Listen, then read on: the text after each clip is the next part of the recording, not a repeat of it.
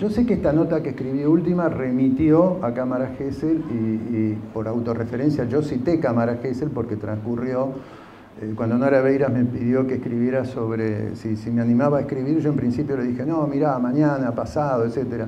Pero me caché tal calentura, porque la violencia yo la vengo respirando eh, en Gesell como en el país. A ver, Hubo un hecho que pasó hace unos años y que a mí me disparó la idea de una segunda novela que no voy a escribir, pero les cuento cuál fue el disparador.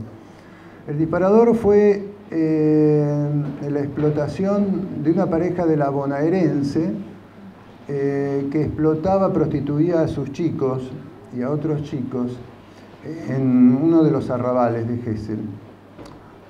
Hace unos días fueron condenados, salió sentencia. Esto pasó hace unos años. Ahora, la pregunta que yo me hacía era, a ver, sí, son responsables los que explotan a los chicos, pero los que se garchaban a los pibes, ¿dónde están?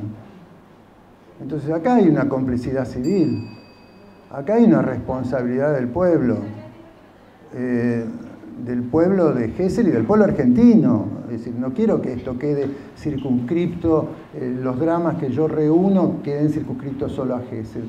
Gesell es una metáfora de todo el resto. Eh, eh, matan pibes todos los días, matan una, una chica todos los días, violaciones todos los días. ¿En qué sociedad estamos viviendo? Esto no es atributivo de Villa Gesell.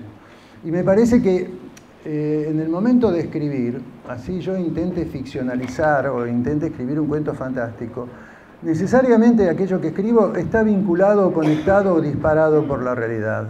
Soy de aquellos que no pueden escribir mirando hacia otro lado y que cuando lo intento viene la realidad y me pega un bife. Es decir, ¿de qué estoy hablando? De política. Eh, Lenin tenía, Vladimir Ilyich Ulyanov tenía una frase que me parece muy interesante y jugosa, que dice, eh, más vale que te metas con la política antes que la política se meta con vos. Me parece que de esto se trata. Yo no puedo divorciar literatura de política.